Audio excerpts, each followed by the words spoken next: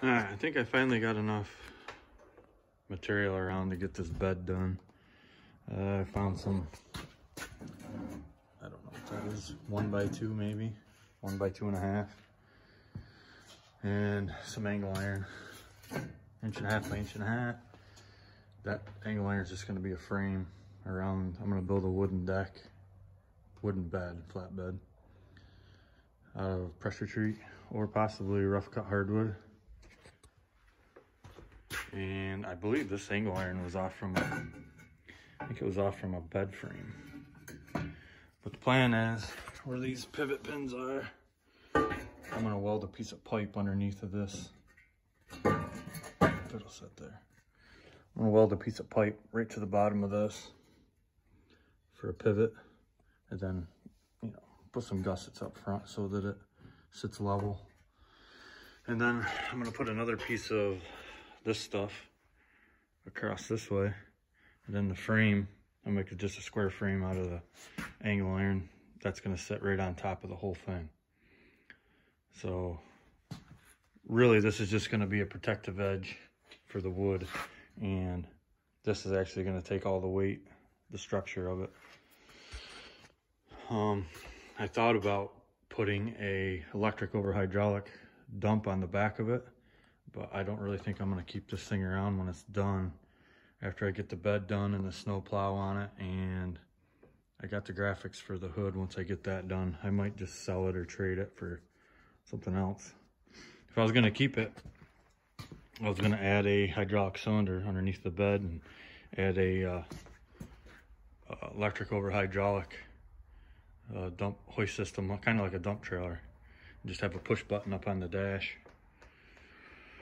but I don't think I'm to do that because it's you're probably looking at five, six, seven hundred dollars just to add that. And I mean, if you're going to keep it, it would be nice to have, but for what I'm going to do with it, I'm just going to have it. So I'm going to bolt it down so it's a flatbed. But if you ever needed to use it as a dump or uh, raise it up to do any work underneath there, you could just unbolt the front of it and pivot it right up.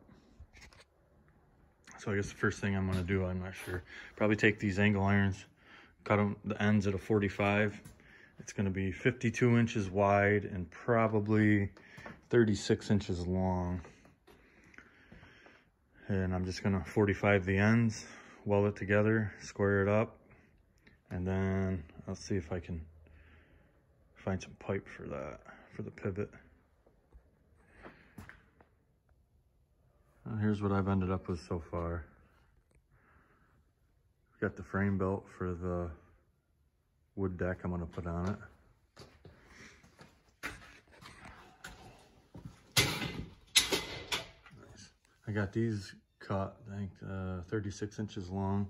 It's 36 inches long and like 52 inches wide. Uh, all I did here for the pivot, I just took a piece of this uh, frame that I used, cut it about three inches, and then I measured out about an inch at the bottom and just wedged it. So it's three inches by one inch, and then I came up and uh, just drilled a hole through it so the bolt would fit it. None of this is welded together right now, it's just sitting here.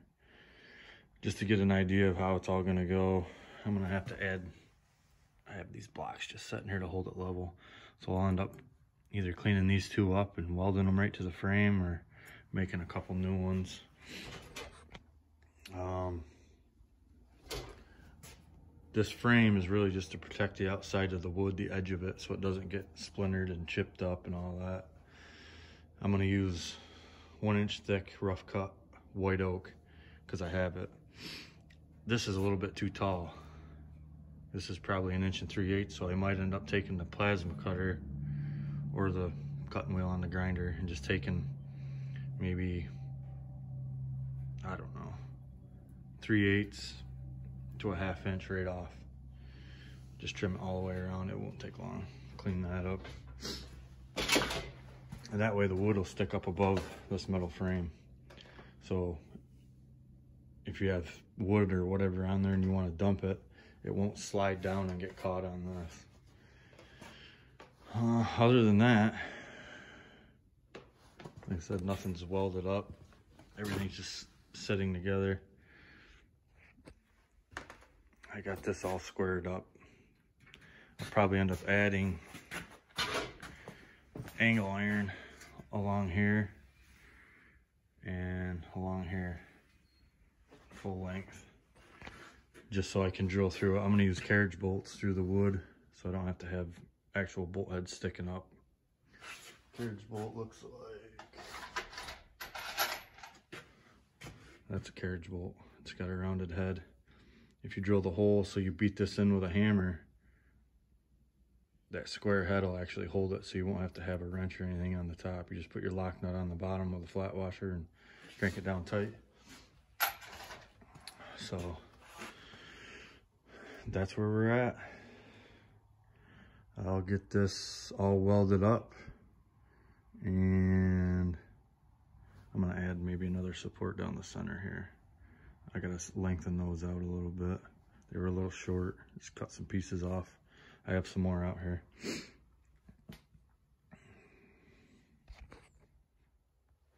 Well, there it is. All done for the most part. I dug into my rough cut lumber. This is all white oak. Uh, it's all, I've got all the edges cleaned up and cut the length. I just have to bolt it down, drill it and bolt it down. This angle iron frame isn't welded to the main frame or anything. I'm not sure if I'm gonna weld it or bolt it yet, but I don't know if it's pinned in there. Oh yeah. That works. So you can see down in there. Lighting kind of sucks, but I got it pinned in. The whole frame's all welded up. Just gotta clean it up a little bit, paint it.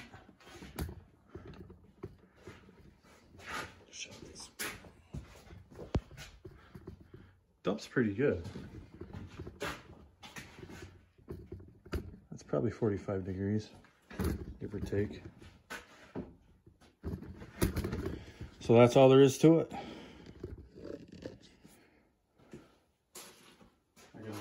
some, I'm thinking I, I might drill all the way down through the top, through this frame, through this, it's two and a half inches thick. Drew through all of it and bolt it down that way instead of welding it on. What's nice about it is, I mean, I can take these four clamps off, take this frame with the boards, they're in there tight. I had to beat them in there with a ball peen hammer. I can take that whole frame off and set it right up on the bench. And, um, do anything I need to. Up there, sand it, stain it, round the edges, whatever. And then uh, just set it right back on there and bolt it down.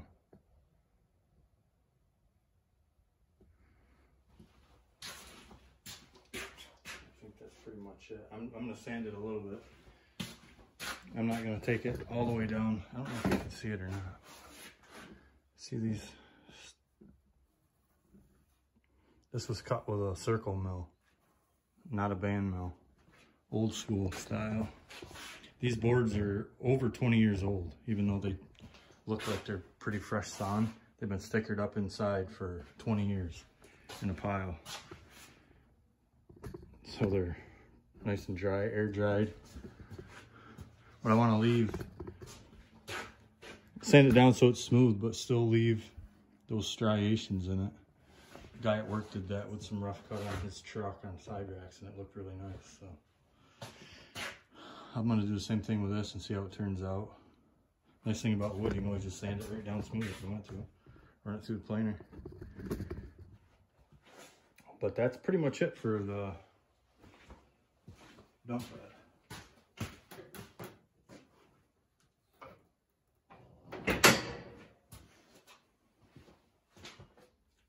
All right, drilled some holes. Figured I'd show you what works for me since I broke about four or five drill bits. Uh, I'm using quarter inch carriage bolts. So it takes a quarter inch see it? Quarter inch carriage bolt. It takes a quarter inch drill bit. Now when you're drilling through the wood, I'm using this smaller drill bit. I think it's two sizes smaller than a quarter. So I don't know, seven, 30 seconds maybe or something. It doesn't matter. Anything smaller than a quarter inch. Drilling down through the wood, through the angle iron underneath, and just drilling all those holes. And then coming back through with a quarter inch drill bit and just drilling straight down through the wood and not going through the steel. Cleaning those holes up. Because if you waller that, if you get into the steel with the quarter inch bit and this thing starts wobbling or shaking at all, it's gonna waller this hole out. And then this square, see that square, when you pull that down into the wood, that's what holds it from turning when you tighten the nut. And if that's any bigger than a quarter inch, the hole, that won't hold. It'll just spin. So that's what's working for me. After I get these drilled out to a quarter inch down through the wood and not the steel, I'll take all the boards off and drill the steel with a quarter inch drill bit. And then you can put your bolts through. Oh, and I'll show you, I've been using clamp because it just so much faster. You see, so I'll drill through the wood.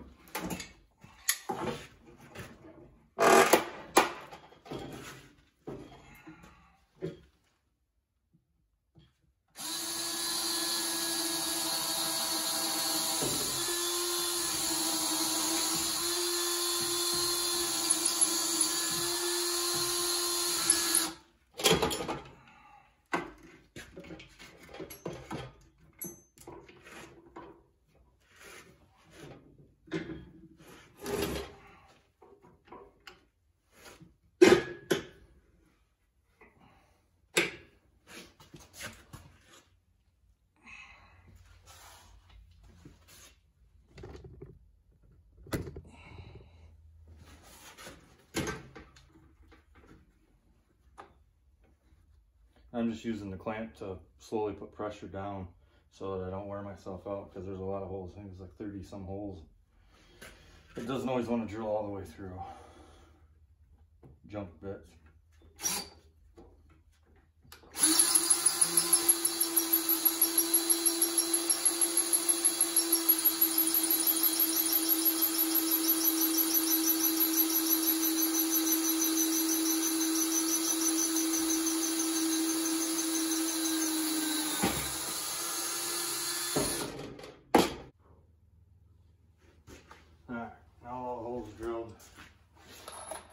you want it to fit nice and tight.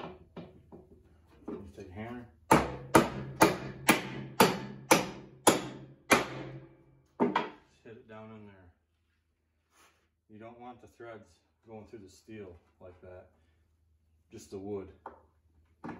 That's why you can drill the steel out one size bigger than a quarter inch, whatever that is. Or two sizes, it doesn't really matter, as long as it's a little bit bigger. And this is nice and tight through the wood.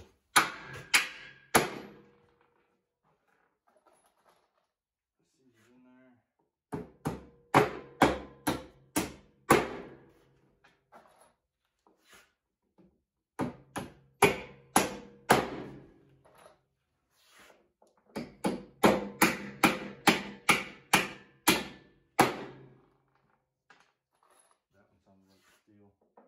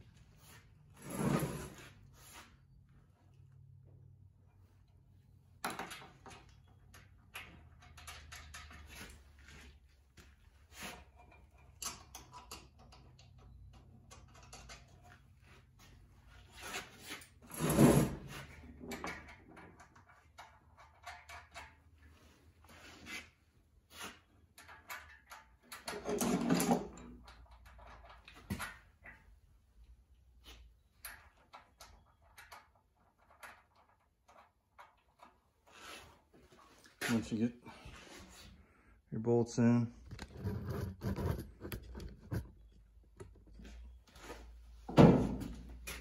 Take the impact, draw it down. Actually,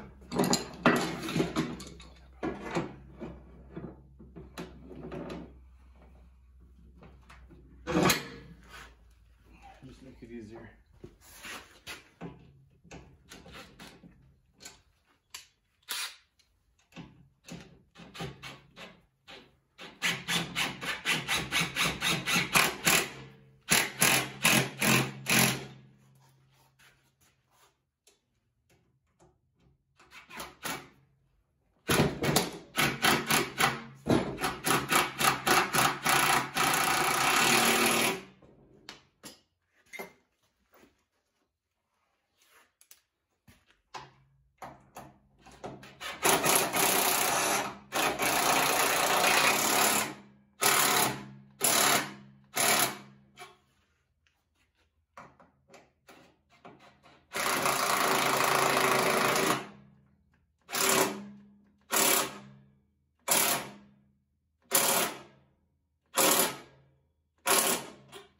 Alright, so much for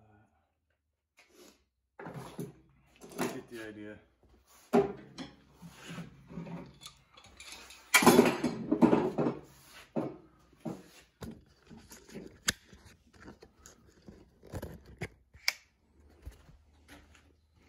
Well, there you go. They tighten down pretty nice.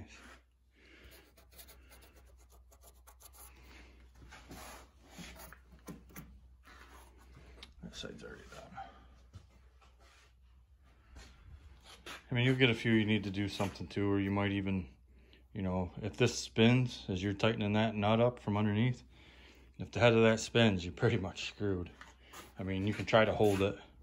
If you can get it to hold with a pair of vice grips or put your finger on it or maybe take a, a clamp and put over the top of it or I don't know, maybe a flat file if you laid a flat file across here and clamped it down, tightened it up so it couldn't move. But other than that, that's all there is to a carriage bolt. All right, here's a snowplow I got for it. It's a John Deere. It's got a model number. I don't know, I paid 40 bucks for it. And these mounts right here, they were out here on the outside edge. It was too wide for, the Rhino's already got a plow mount frame mounted underneath it. And it was 15 inches from center to center. This was, I don't even know, like 23 or something like that. So I just took the cutting wheel, the grinder into the cutting wheel on it and cut it off, cut both of them off. Cut this piece of steel out, piece of scrap steel, and then welded those on in the center. Well, from the center out, seven and a half inches. Um, I MIG welded those on. The plate I'm gonna stick weld, just because actually the MIG welder was getting hot welding all that up. So I could MIG weld it, but I think it'll just hold better than the my old Lincoln arc welder. We'll do a good job on it. And that's pretty much it for this. It should mount right up. I don't even know how big it is. Big enough. It's got a rubber cutting edge on it.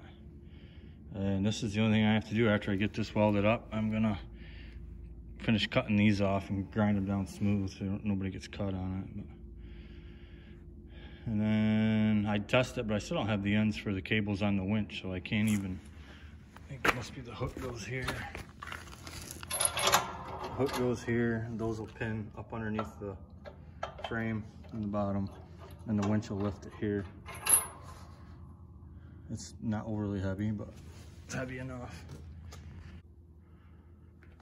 All right, that didn't take too long. I'll weld it up, stick weld it. It's not too bad. I don't stick weld very often. That burnt pretty good. Got some good heat down there.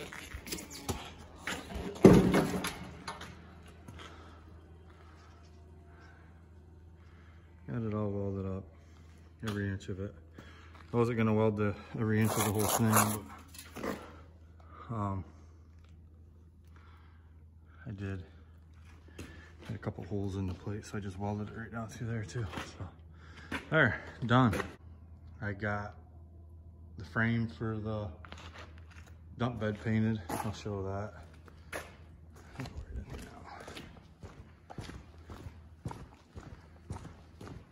It's not painted, it's primed.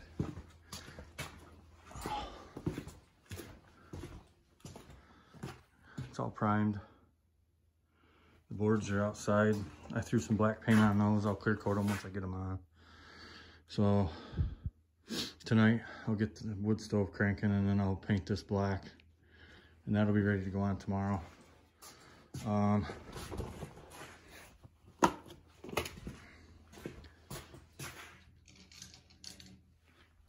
here's the piece that I made for the airbox.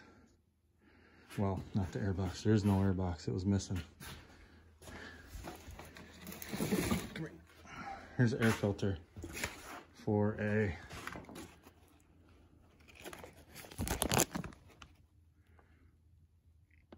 Four hundred EX four fifty R. I took in uh, my grinder and ground that down on the inside. This is a three inch pipe and it fits perfectly down over that. Just like that. And there's a pin sticking out right there on the bottom. I'll show you more of it get that part. That is gonna go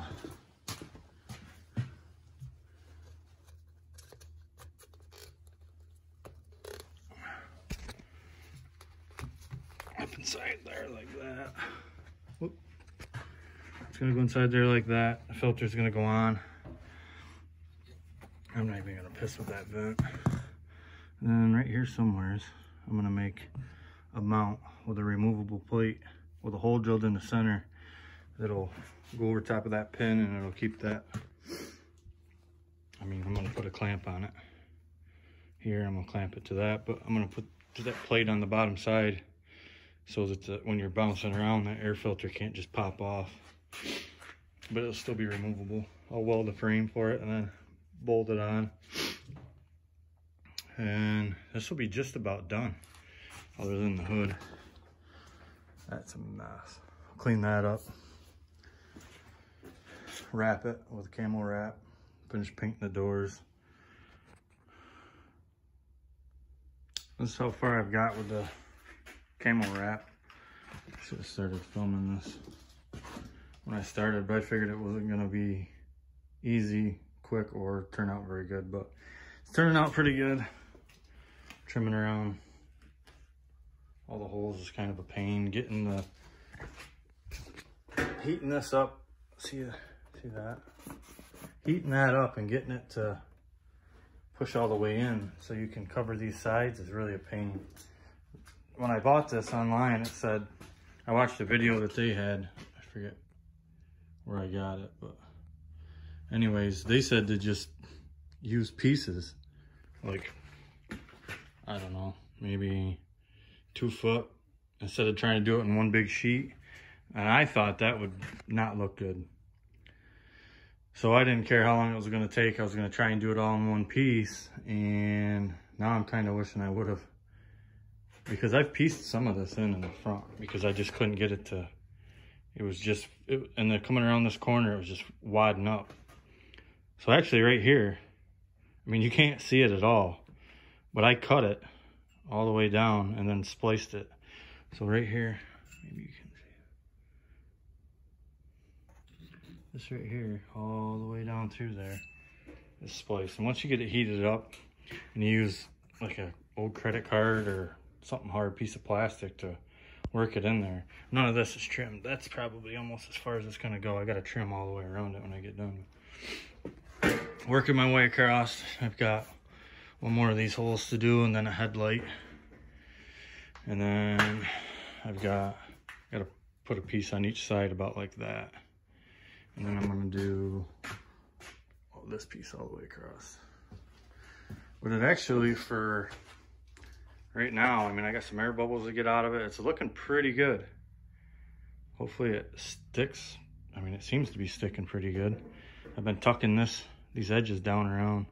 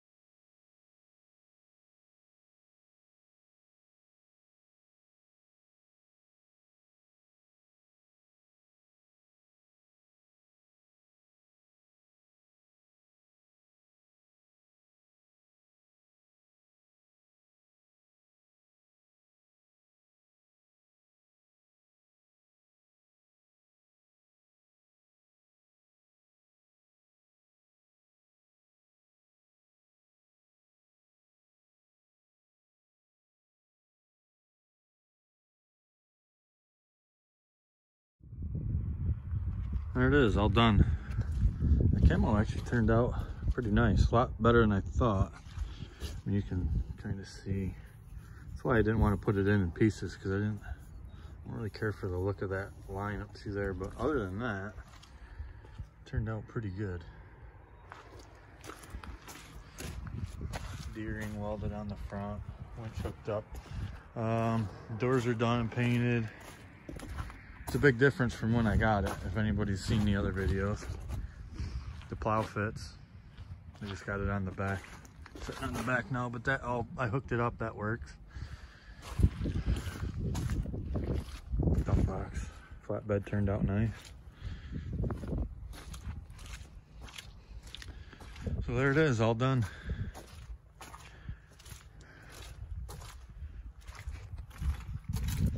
Everything works good. The seats are still tore up, don't care.